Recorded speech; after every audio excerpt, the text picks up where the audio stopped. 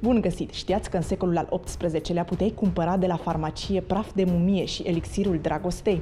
Astăzi vom avea ocazia să le vedem. Ne aflăm la Casa Hinț, clădirea care a găzduit prima farmacie din Cluj-Napoca. În secolul al XVII-lea, toate doamnele din cetatea veche țineau în dulapuri o sticluță cu praf de asfalt. Femeile consumau substanța când sufereau de migrene și alte dureri fizice. Mai mult își ungeau pielea cu acest produs de culoare neagră. La rândul lor, domnii aveau un as în mânecă pentru când intrau în dormitor.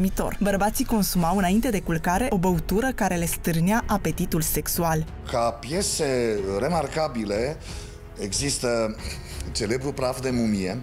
Acum, de unde vine acest praf de mumie, care era considerat un panaceu atunci? Uh, mumie, în limba persană sau în limba arabă, înseamnă uh, un fel de asfalt, un fel de asfalt, uh, bitum. Și se știe că în acea perioadă a secolelor uh, de ev mediu era folosit ca panaceu. De aici vine numele. Da, sigur că dacă era folosit praf din mumiile egiptene, se făcea și un comerț și să-ți mai spun o treabă, hai picanterie, știu că îți plac, se făcea trafic, contrabandă. Adică mumile nu mai erau disponibile, Egiptul nu le mai exporta cu ghidibelele de rigoare și găseau ei morți recenți pe care, sigur că da, le făceau uh, macerația respectivă și praful respectiv era dat uh, uh, la prețuri destul de piperate doritorilor. De asemenea, era un, o să-l vedeți, praf de nestemate, care și ăla era extrem, extrem de prețios. Uh, sigur, uh, eficiența lor uh, era, hai să ne gândim poate la uh, fenomenul placebo, dacă aveai impresia că te faci bine, te făceai bine sau trăiai uh, nemuritor, da. Și erau chiar nestemate? praf, da, nestemate. Nu, în măsura în care, sigur, existau ceva compoziții chimice, nu erau chiar nestemate. Pe urmă, este celebrul elixir al dragostei, Păi elixirul dragostei care era de fapt un vin roșu cu coișoare și uh, scorțișoare. Și acum să mai uite Dumnezeu, dacă bei un vin roșu, coișoare, scorțișoare, sigur că e un elixir al dragostei, că este foarte stimulent din toate punctele de vedere. Dar și asta era vândut foarte bine. De asemenea, organe de diverse animale, de rași de astea erau considerate în acea perioadă uh, a secol, până chiar târziu în secolul al XIX-lea ca uh, remedii pentru sănătatea uh, oamenilor. În acele timpuri, clujenii își cheltuiau banii și pe substanțe otrăvitoare, în special pe o pulbere fină și albă cu miros de usturoi care se vindea ca pâinea caldă. În epocă se putea cumpăra opium uh, pe bază de rețetă, Uh, și uh, acesta folosea la tratarea diverselor, uh, diverselor afecțiuni. De asemenea și arsenic, tot pe bază de rețetă uh, și uh, iar pentru tratarea, de exemplu, a uh, rănilor superficiale sau chiar a uh, diferitelor maladii se folosea foarte mult mierea, care era un antibiotic. Știți bine că în epocă nu existau antibiotice și uh, de aceea uh, omul putea să moară dintr-un absces dentar în lipsa unor antibiotice pe care noi astăzi uneori abuzăm de ele și le folosim destul de des. Dar uh, în acea epocă nu existau și atunci uh, farmaciștii uh, găseau diferite remedii pentru combaterea acestor maladii. Deci se vindeau o travă pe rețetă și dacă se vrea cineva să ia așa și pe sumână să Sigur, este foarte dificil de a spune dacă pe sumână se dădeau, dar uh, să știți că farmaciștii aveau o mare răspundere în uh, vânzarea acestor produse opiacee, de exemplu, uh, era cumva reglementat, fiindcă ulterior s-a descoperit și efectele lor care erau efectele secundare și faptul că dădeau dependență. Deci erau foarte, să spun așa, foarte bine uh, calculat dozajul de opium în, uh, în respectivele medicamente. În această farmacie se vedeau și produse homeopatice, respectiv acele diluții care existau în sticluțele respective și... Adică pe bază de plante? Pe bază de plante, pe bază de ingrediente de animale care erau diluate până la anumite concentrații. Și, practic, uh, puteau și ele să amelioreze viața oamenilor în epocă, speranța de viață era foarte mică. Uh, toate bolile, toate aceste boli incurabile erau ca și astăzi cancerul și alte boli care nu se puteau uh, uh, vindeca. Cu toate acestea, speranța de viață era undeva la 35 de ani și putem spune că un om de 45-50 de ani era considerat bătrân. Și eforturile medicinei, mai ales în secolul al XIX-lea și în începutul secolului al XX-lea, progresele imense au crescut treptat această speranță de viață, astfel încât, uh, cel puțin după descoperirea antibioticelor, uh, speranța de viață a crescut vertiginos, fiindcă uh, orice infecție măruntă, dacă organismul era uh, fără imunitate, putea să ducă uh, la complicații grave și chiar la deces așa cum vă spuneam, un acces dentar sau o infecție uh, superficială a pielii care se extindea apoi, putea să ducă, se ducă la, la deces în lipsa acestor antibiotice. Și farmacistul mai juca și rol de medic. Sigur, uh, juca și rol de medic, ești putea să și, uh, să și recomande anumite rețete pentru afecțiuni mai ușoare. Și chiar uh, se, fuce, se făcea și așa un fel de competiție între farmacii, ca și astăzi, respectiv la, se făcea popularizarea diferitor produse farmaceutice, de exemplu teriaca, care era un panaceu universal, sau alte tipuri de medicamente care se considerau că puteau vindeca aproape orice. Îi făcea reclamă farmacistul când vindea? Da, farmacistul sau spițerul sau chirurgul erau mână în mână și altfel se trimiteau pacienții astfel încât să beneficieze uh, și de tratament, dar și de produsele pe care respectiv farmacist vreau să și le vândă. În prima farmacie din orașul Comoară exista o încăpere secretă, la subsol, în care aveau acces numai doi oameni. Spațiul acesta este laboratorul uh, farmaciei și el cuprindea foarte multe uh, Uh, materiale care au fost uh, depozitate aici.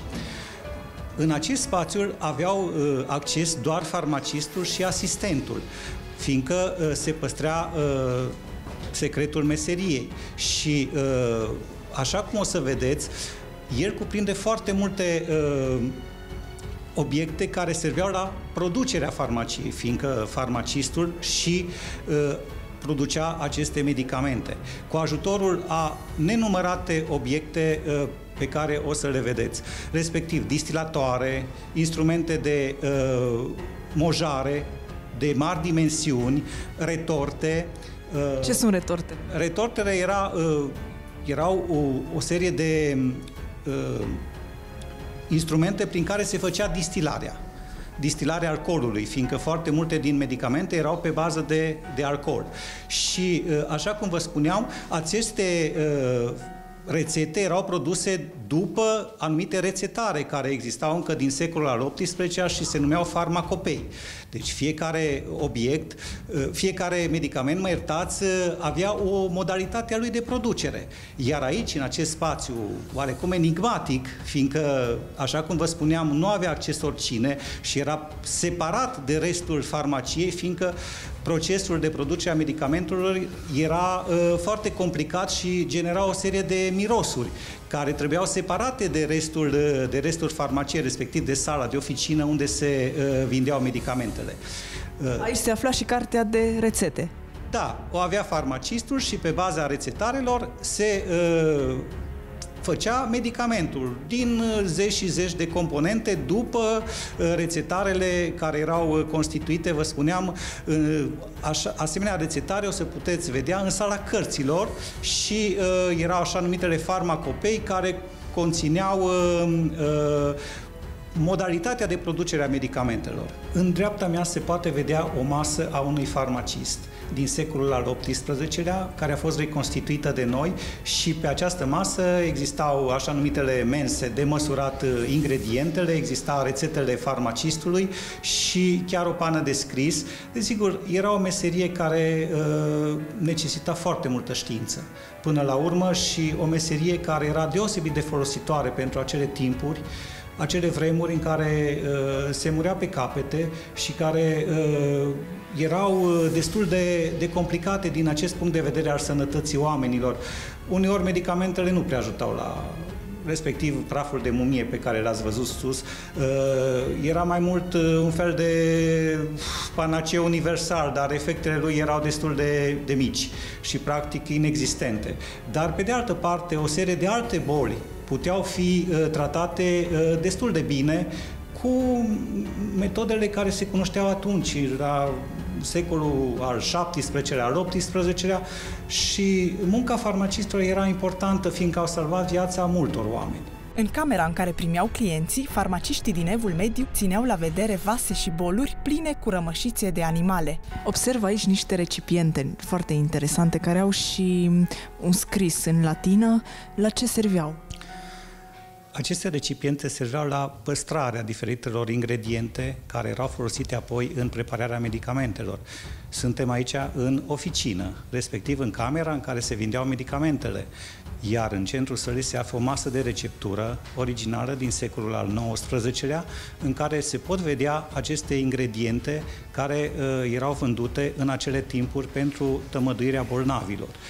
Printre leacurile pe care uh, se pot vedea sunt uh, praful de mumie, un uh, panaceu universal în epocă, uh, praf de nestemate, diferite uh, obiecte uh, și uh, instrumentar de farmacie, respectiv rețetare și uh, diverse uh, instrumente de măsurat. Uh, nu în ultimul rând, uh, diferite uh, medicamente sau prafuri care se extrageau din uh, animale, respectiv din cochilii de raci, respectiv din uh, glandele anale ale castorilor, care la vremea aceea făceau uh, furori și erau foarte uh, întrebuițate în prepararea leacurilor. Uh, Ce tratau cu ele, dacă știți? diferitele boli care le avem și astăzi, cu metodele empirice de atunci, respectiv uh, puteau trata răceală, puteau trata uh, febra, erau febrifuge unele dintre ele, putea trata uh, dureri de piept, puteau trata chiar probleme de sănătate a uh, minții și, nu în ultimul rând, probleme de sănătate a cuplului. Fiindcă, așa cum o să vedeți și în cealaltă sală, exista așa numitele, uh, să le spun, licori care uh, aveau o, o deosebită influență asupra potenței, respectiv uh, recipientele respective erau decorate cu uh, motive romantice, cu porumbei, cu inimioare și erau folosite de cupluri pentru a putea uh, avea copii. Uh, nu în ultimul rând, acest uh, să spun, aceste medicamente erau practic pe bază de vin roșu amestecat cu diverse uh, combinații și sigur puteau să-și facă efectul uh, în anumite condiții. Și în celelalte încăperi ale muzeului, ce mai putem vedea?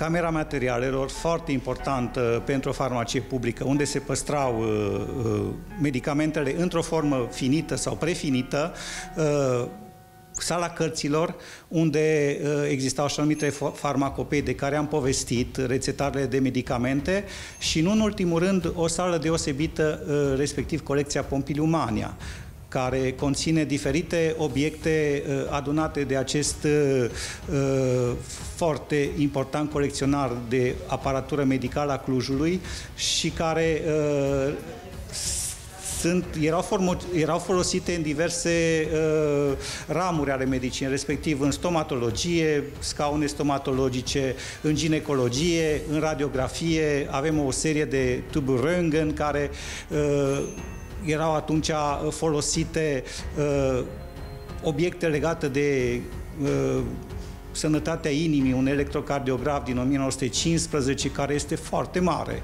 față de electrocardiografele de acum, o să-l vedeți, este mare, este practic o masă întreagă.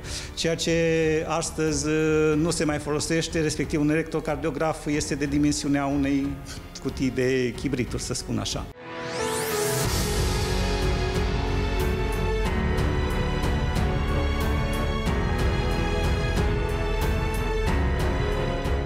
Tot în sala uh, cărților, în partea dreaptă se află o farmacie portabilă, o farmacie nobiliară din secolul al XVIII-lea. Aceste farmacii erau des întâlnite, fiindcă erau uh, un accesoriu uh, de nedespărțit pentru nobili.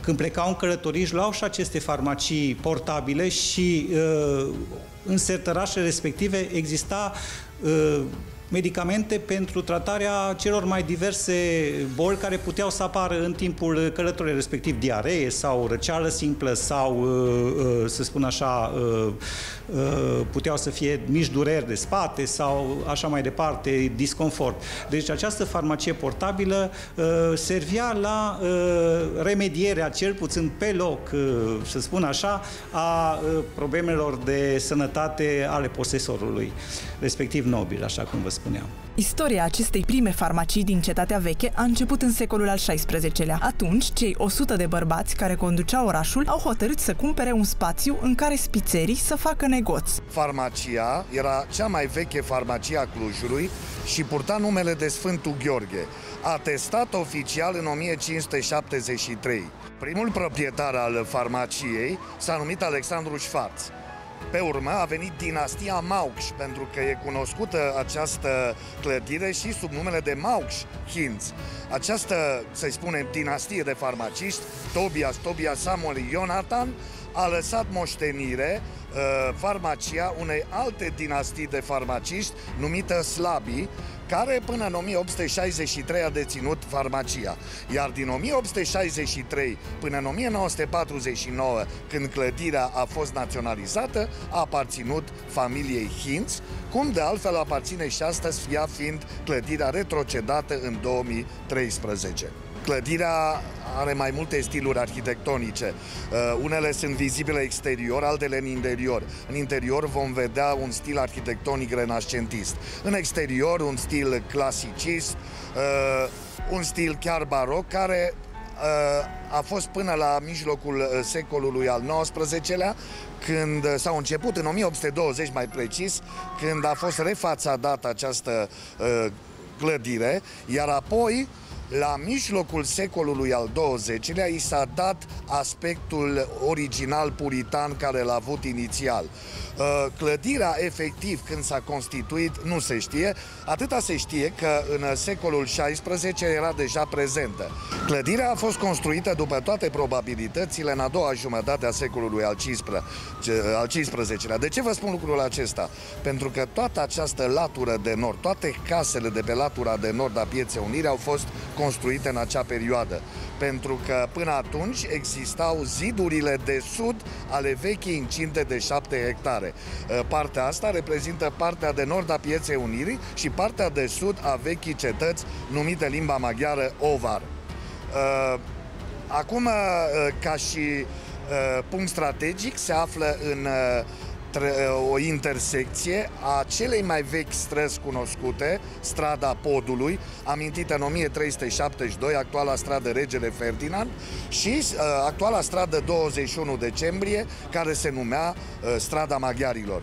Deci erau niște străzi vechi și uh, farmacia a funcționat uh, Uh, mai ales uh, din uh, secolul al XVIII-lea la această intersecție, pentru că sunt amănunte mai bine știute. La un moment dat, pe scena istoriei acestei farmacii, intră un donator generos. Suntem în interiorul colecției de istoria farmaciei. Din 1963, asta este titulatura oficială a acestei instituții. Inițial, ea a fost realizată la debutul secolului al XX-lea, datorită unui uh, celebru farmacist, uh, Iuliu Orient. El a expus în 1904 o serie de Uh, vestigii, să le spunem acum într-un termen istoric, uh, farmaceutice și medicale, într-una dintre uh, clădirile Muzeului Ardelean, de care noi am mai vorbit, și mai bine spus, această clădire, în 1904, când a avut loc expoziția, a fost una dintre ele a fost în Casa Matia și cealaltă a fost una dintre clădiri, a fost chiar în incinta uh, Universității Babeș-Bolyai. Meseria de farmacist apare ceva mai târziu, uh, cum am și amintit, secolul XVIII, dar primii farmaciști erau și șpițeri și medici, uh, în vecini, la numărul 21, uh, a locuit un medic, chirurg și farmacist în secolul al XVI-lea numit Roșaș. Rosaș. Acest medic era medicul curant al Uh, principelui Transilvaniei Cristofor Batori, fratele lui Ștefan Batori și nu Iurea se pare că acest loc, normal, era și centru uh, urbei de atunci ar fi fost un loc în care existau și alte farmacii. Sigur, uh, am mai, uh, această farmacie, purtând numele de Sfântul Gheorghe, cunoscută, uh, până devine privată, uh, un lucru inedit. Odată cu naționalizarea, ea este transformată în uh, plăcintărie. Deci, această parte, plăcintăria, acum, sincer să spun, nu știu numele, oricum nu zicea plăcintăria Sfântul Gheorghe, fii convinsă, și plăcintăria uh, a durat până în 1954, când uh, se, la insistențele unui uh, mare uh, slujitor al lui Hipocrate, doctorul Bologa, el va insista asupra autorităților uh, comuniste să această clădire care este și o clădire monument istoric, să-și rea o activitate adecvată vechimii sale. Și anume un muzeu de uh, istoria farmaciei. Uh, îi datorăm mult lui și lui Samuel Isaac, uh, un alt colaborator al, al doctorului Bologa, că avem această uh, locație cu uh, rolul de uh, muzeu de farmacie sau muzeu istoriei farmaciei sau colecția istoriei farmaciei, oricum e bine spus. Uh, de ce spun asta? Pentru că la început această uh, instituție aparținea de Ministerul uh, uh Sănătății, deci de Facultatea de Medicină, îi se spunea IMF atunci, Institutul de Medicină și Farmacie, ulterior trecem custodia Muzeului de Istoria Transilvaniei, în custodia căruia se află și astăzi. Acum, pe unde am intrat noi, de fapt, era o odaie uh, laterală. Intrarea oficială în cadrul farmaciei era de pe strada actuală Regele Ferdinand, unde este oficina. O să vedem, oficina era locul în care erau uh, vândute uh, toate leacurile farmaceutice, încă nu le putem spune chiar medicamente, hai să le spunem strămoașele medicamentelor. Uh, pe urmă, uh, în clădirea în care ne aflăm noi uh, acum, era un, uh, să spunem, o sală de materiale. Era ceva mai extinsă, asta e cea mai mare, materiale materiale, adică ă, toate soluțiile, toate substanțele care erau expuse în diverse recipiente de lemn, sticlă sau porțelan, o să vedem noi ulterior, uh, erau expuse în farmacie. Pe urmă, uh, mai exista sau există laboratorul, laboratorul în care farmacistul și asistentul său lucra. El se află la subsol. De fapt, uh, se vede o săgeată în jos la uh, sigla care indică laboratorul. Acolo intra numai farmacistul și asistentul, nu, secretul nu se dădea. Uh, mai există o... Uh, o să mă întreb unde locuia farmacistul, pentru că uh, ce, vezi, ce vedem noi aici, uh, parterul și subsolul, într-adevăr, era farmacie, dar etajul era uh, pentru locuința farmacistului și ucenicilor sau servitorilor care îl deserveau. Și astăzi uh, Nivelul întâi, deci etajul întâi, este format din uh, locuințe în care stau locatari, deci nu este accesibil. Este o curte mică, îngustă, uh, cu o altă intrare spre acest subsol și acolo o să vezi o serie de, um, să le spunem așa, urme uh, renascentiste, să vorbim și într-un termen arheologic. Sigur, aici, pe lângă oficină, prin sala de materiale, avem o sală de cărți în care sunt expuse materiale care au aparținut uh, unuia dintre farmatiști, uh, mă refer la Tobias Maux, uh, dar nu neapărat aparțineau acestor farmaciști care și-au desfășurat activitatea în Cluj, pentru că există un atestat a unui farmacist din Gherla, din secolul XVIII.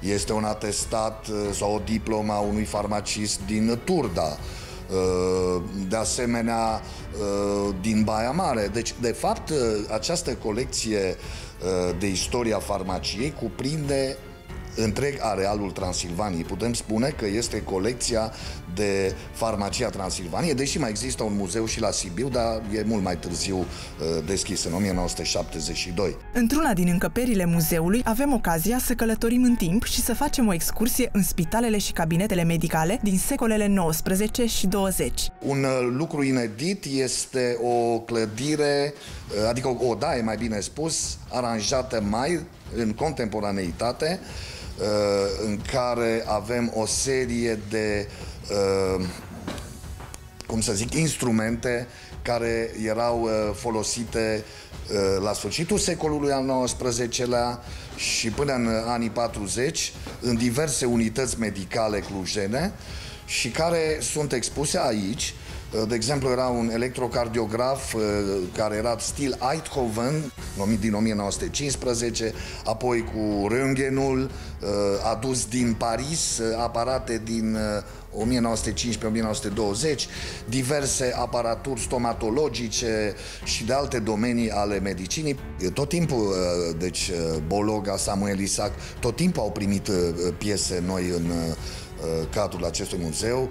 O să vedeți cele recente, inventariul de început de secol 20, care este și el foarte relevant, dar deja vorbim de sfârșit de secol 20, început de secol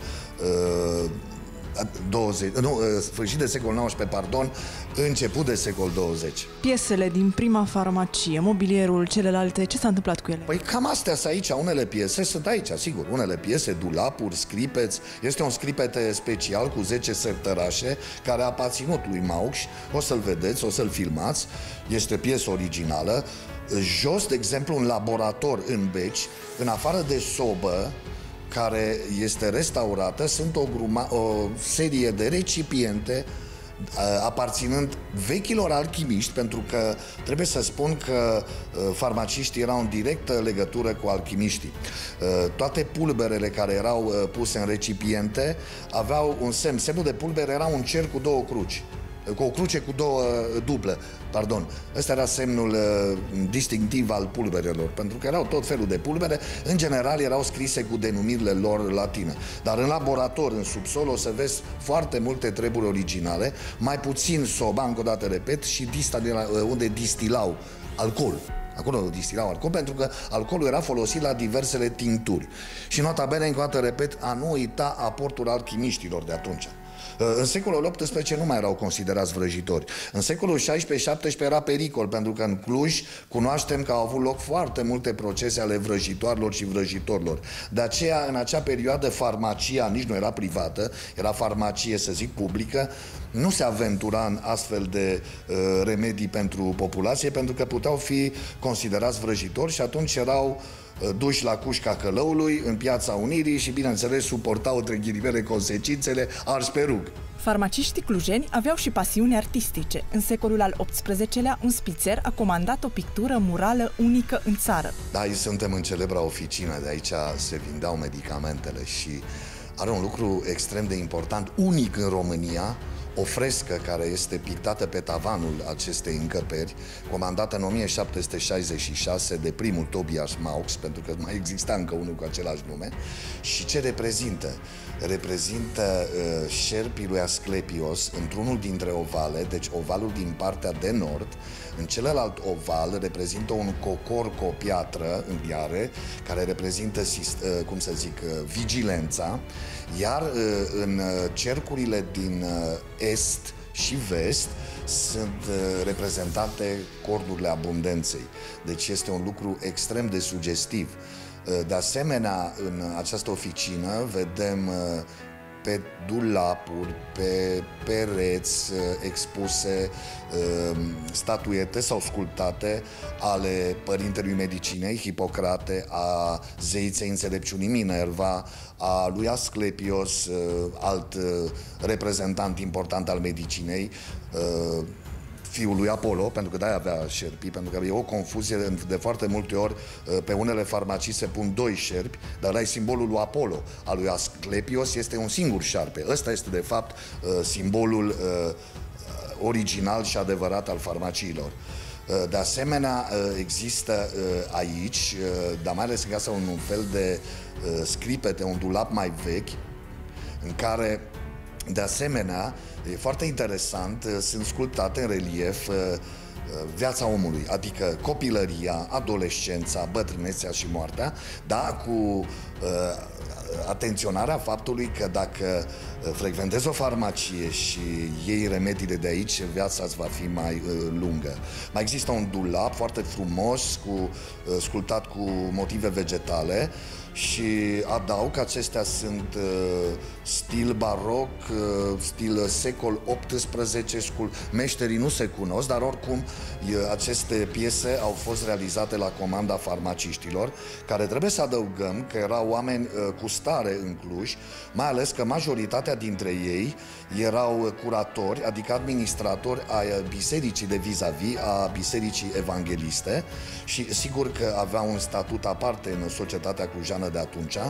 De asemenea, uh, aveau uh, uh, unele scrieri, de exemplu Tobias Mauș și lasă fiului său modalitatea de a administra o farmacie și de a discuta cu clienții și secrete profesionale care nu trebuiau divulgate pentru că era concurență și atunci, bineînțeles.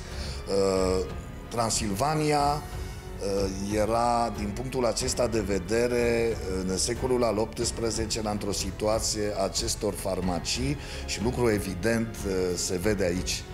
Uh, este o muncă de ani de zile, de decenii, toată această colecție cu foarte multe lucruri interesante, care este un brand special al Clujului. Puțină lume îl cunoam, mulți trec așa nepăsător, mai ales prin gangul acela de care am vorbit adineori, care uh, în 1950 a fost realizat pentru a ușura uh, traficul pietonilor. Eu uh, le spun telespectatorilor voștri că merită vizitată această splendidă unitate de cultură. Deci asta pot să-i spui că este un lucru extrem, extrem de important pentru istoria Clujului.